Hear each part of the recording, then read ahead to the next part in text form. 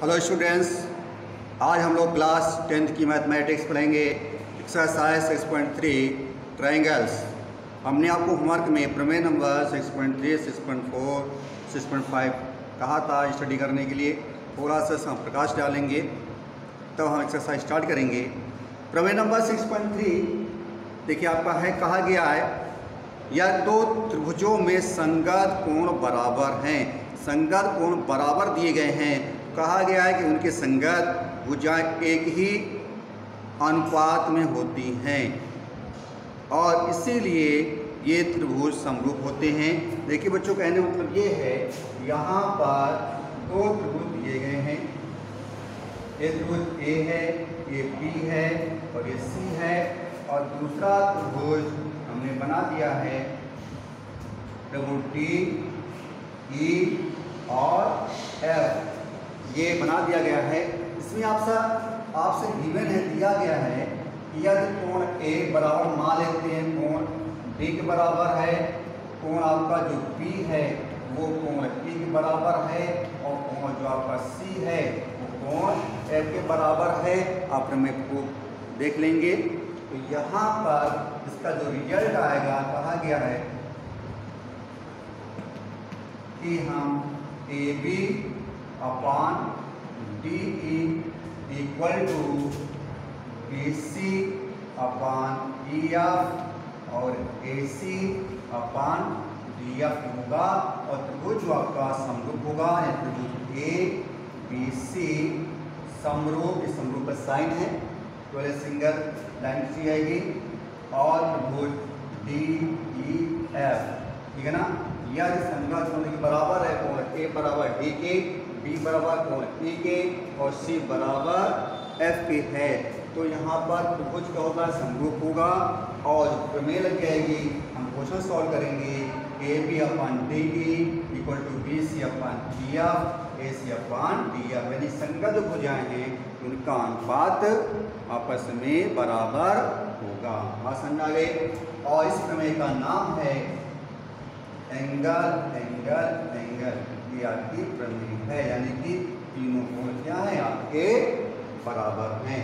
या इसी को हम अगर एंगल एंगल कहें, तब भी सही हो जाएगा, क्योंकि यदि किसी भी त्रिभुज में दो कोण अगर बराबर हैं तो तीसरा कोण अपने आप बराबर हो जाएगा। ये समरूपता की प्रमेय है। ठीक है ना बच्चों?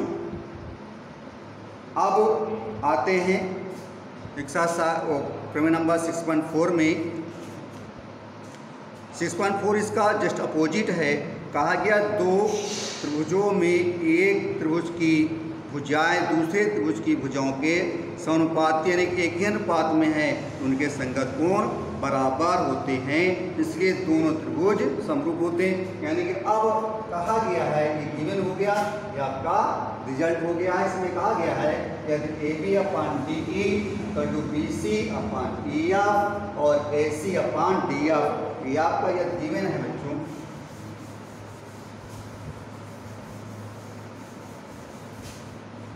प्रमेय सिक्स वन फोर ये कहती है, अगर A B upon D E equal to B C upon E F equal to A C upon D F तो त्रिभुज हो जाएगा आपका समरूप त्रिभुज ए बी सी समरूप का साइन है त्रिभुज ए ई एफ़ तो क्या समरूप हो गया हम कह सकते हैं कि angle A equal to angle D angle B equal to angle E और angle C equal to angle F इस प्रमेय का नाम है आपका एस एस एस या की प्रमेय है।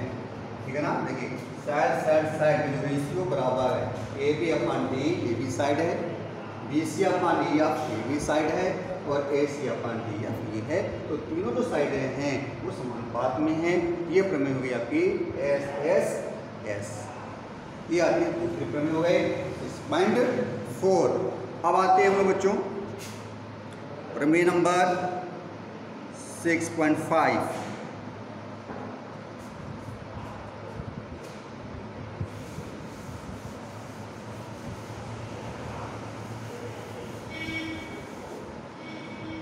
six point five में आते हैं।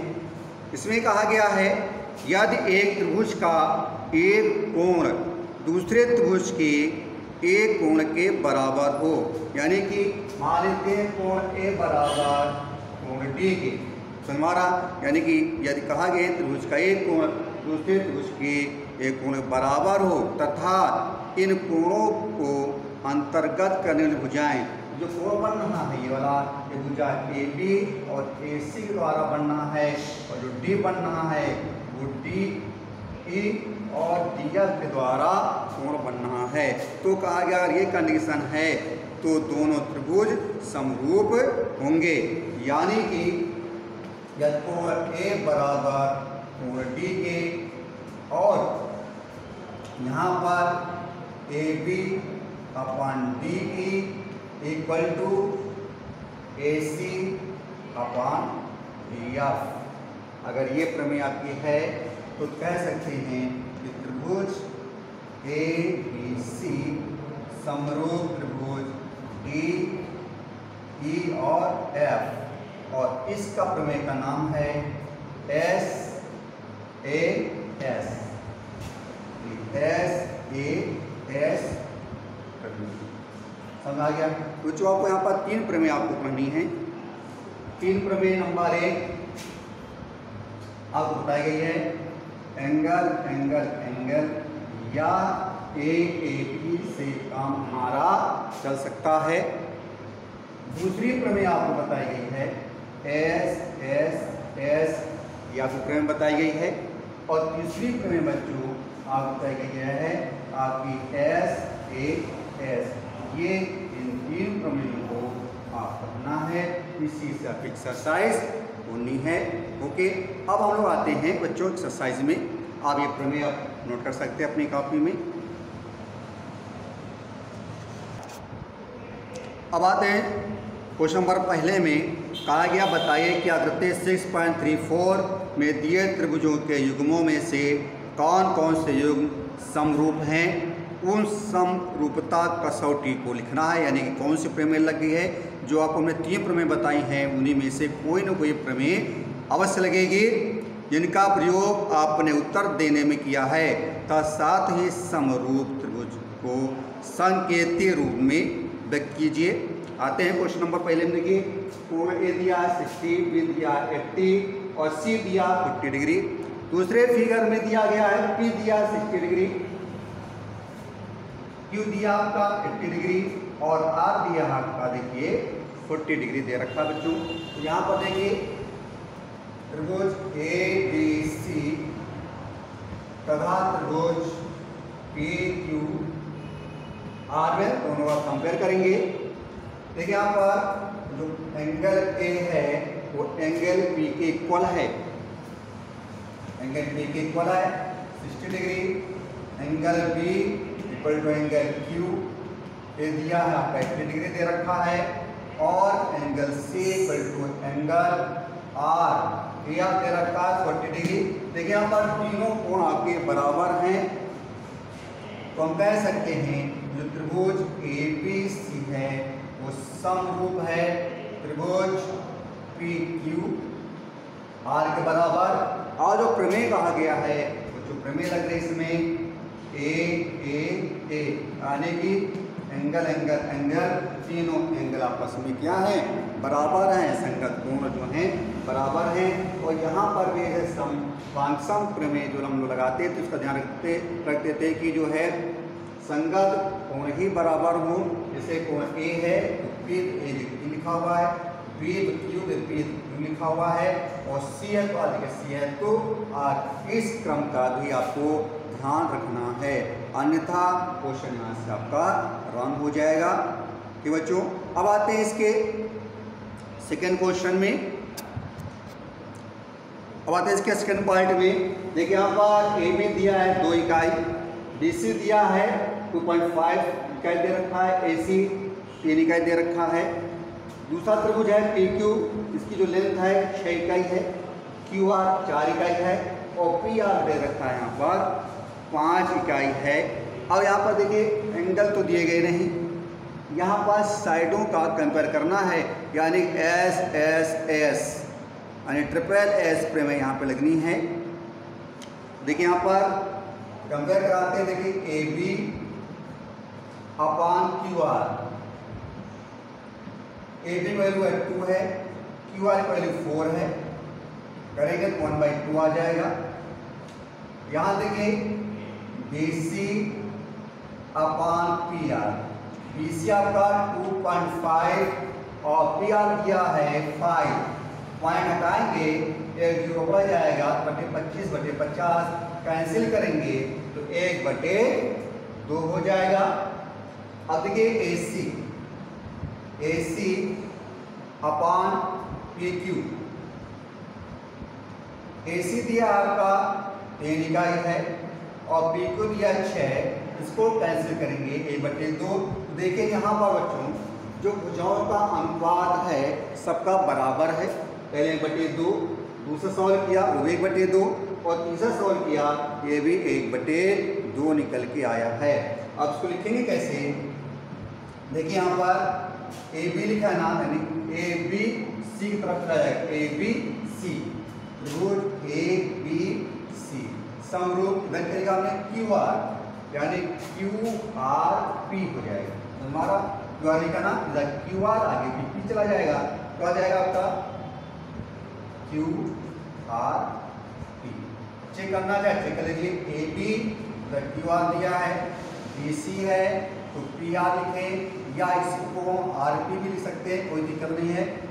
और देखिए ए सी है तो ये हो जाएगा क्यू पी या पी क्यू बात देखिए चले पी लिख देते हैं। ये आपकी संगत जो है, क्या क्या हो गई? बराबर हो गई और प्रमेय लग गई आपकी एस एस एस ध्यान ये रखना है कि जैसे आपने समरूप में क्रम लिखा है, समरूपता में, वही क्रम आपका इधर भी होना चाहिए, जो हमें चेक करके सही कर लिया है। ऐसे कर सकते हैं पेज पुरा देखिए। देखिए ए भी भुजा तो क्यू आर लिखा हुआ है। ये बी सी भुजा है तो आर पी लिखा देखिए यहाँ पर आर पी हो गया है। ठीक अब ए सी लिखा है देखिए ए सी क्या हो गया? यू पी तो सेम अनुपात भी यहाँ पर होना चाहिए। ठीक है? अब इसको स्क्रीनशॉट आप ले सकते हैं बच्चों। अब यहाँ पर आते हैं इसके तीसरे पार्ट में। जो एल एम दिया है टू पॉइंट सेवन दिया है एम पी दिया है टू दे रखा है, और जो एल पी है, वो थ्री दे रखा है। अब त्रिभुज डी ई एफ़ में आते हैं तो डी ई दिया फोर दे रखा है, इसकी लेंथ दे रखी है। ई एफ़ फाइव दे रखा है तो डी एफ़ दे रखा है तो सिक्स दे रखा है। यहाँ पर कोई एंगल दिया नहीं गया है, बच्चों, यहाँ पर हम एस एस एस प्रमेय को चेक करेंगे। अगर यहाँ देखते हैं जो एम पी है, दो यूनिट है, दो इकाई है तो डी एफ़ यहाँ पर चार यूनिट है आपस में ये कैंसिल हो जाएँगे। देखते हैं। M P upon D E two by four यानी कि वन बाई टू आ जाएगा। एल पी और upon D F L P दिया थ्री और डी एफ़ दे रखा से कैंसिल करेंगे। ये भी वन बाई टू आ जाएगा। अब बचा L M L M upon अब बचा ई एफ़ ई एफ़ यानी two point seven upon five यानी कि two twenty seven upon fifty ये बच्चों कैंसिल नहीं होगा। अब यहाँ पर देखते हैं कि यहाँ पर दो तो वैल्यू सेम है। ये तीसरी वैल्यू भी अगर एक बटे दो आ जाती तो एस एस एस आपके प्रमेय लग जाती और दोनों त्रिभुज आपके क्या हो जाते? हैं समरूप हो जाते। हैं तो यहाँ पर देखिए, आपका जो त्रिभुज है, त्रिभुज जो एल एम पी तथा जो त्रिभुज आपका है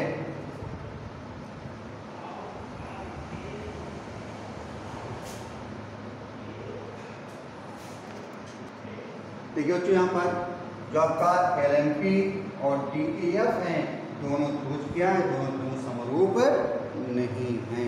बात समझ में आ गया? दोनों त्रिभुज समरूप नहीं है, क्योंकि यहाँ पर कोई प्रमेय नहीं लग रही है। ऐसे आपको सारे पार्ट करने हैं, ये आपका होमवर्क है।